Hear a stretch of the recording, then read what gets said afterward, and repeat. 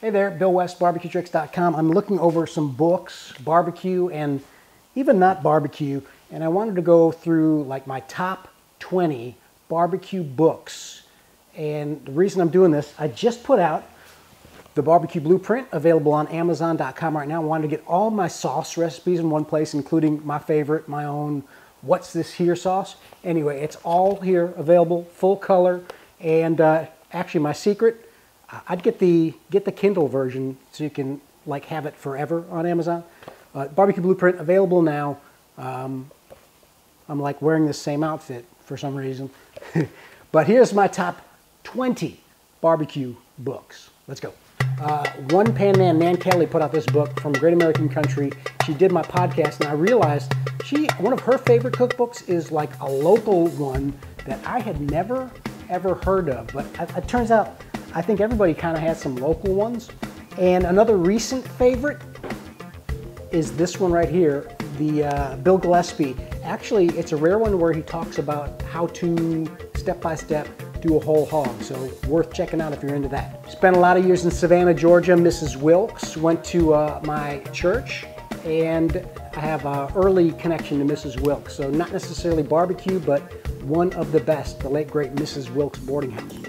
One of my weirdest books, it's how to cook on the uh, exhaust manifold and the engine of your car. it's called Manifold Destiny. Good luck trying to find this one anywhere, but uh, might be worth finding out how to do your Hyundai halibut with fennel. It's in there. A lot of people love this one. Uh, it's ratio, all about different ratios. More science than photos, it's okay. I must have gotten it from the library. Don't know how much late fees I am being charged at this moment, but good one. King of Mexican, so good. Adam Perry Lang does it right. He made a book, really simple, 25 of the most important recipes, and you can literally get sauce all over it because it's made so you can wash it off. Talk about local stuff. Uh, all right, local uh, Nan Kelly mentioned one of her local books. This one in Charleston is a must if you're uh, down about these parts. Charleston Receipts and Augusta Time. Tea Time at the Masters is one that every good Augusta, North Augusta, South Carolina gotta have it. I guarantee Justin Wilson, always an influence. I'm not as into the science, believe it or not, of barbecue and uh, cooking, but Harold McGee definitely is. He's uh, this one's super popular with uh, my buddy Jack Waybour and uh, a lot of other people that are really into the science of things. This one is uh, one everybody buzzes about, so it's got to make the top five.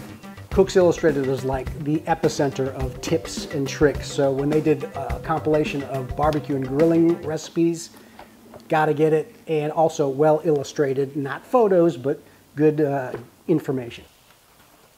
Hey, talk about photos. Probably has the best photos in this one right here. It is a Williams Sonoma, like everything. They, you know, it looks great. Yeah, kind of a pricey book as Williams Sonoma is, but looks, ooh, look at that, charcoal. Good enough you can eat. This one definitely gets a, a big bonus shout out for some great pictures. And I love this. It's all Traeger recipes, which I love my Traeger. I like the Dean guys, Dean family fan.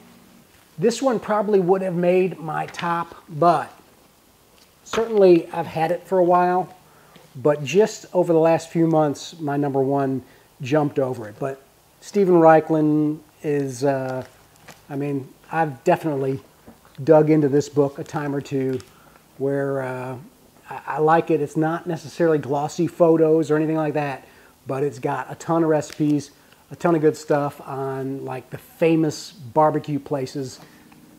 Steven Raichlen has done his homework. And my number one, this one right here, it's the Pat Conroy cookbook. And we just lost Pat Conroy a couple months ago. Famous uh, Prince of Tides author, um, just it's more story writing, almost more autobiographical than a cookbook, but it still has got so many great recipes. And it's so much South Carolina, I thought I'd make that my top pick. You probably have your own, so tell me what your favorite cookbook is in the comments. I would love to hear it. I'll try and put links to find these uh, underneath and on barbecuetricks.com.